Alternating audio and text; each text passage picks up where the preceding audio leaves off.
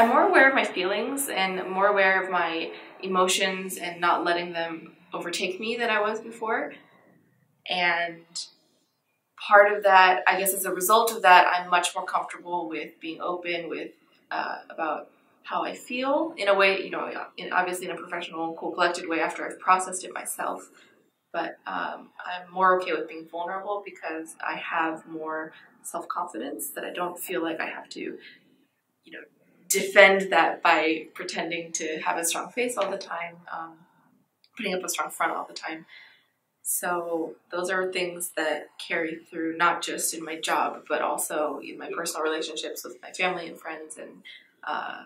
and with my significant other. Uh, just yeah, being more open and honest with my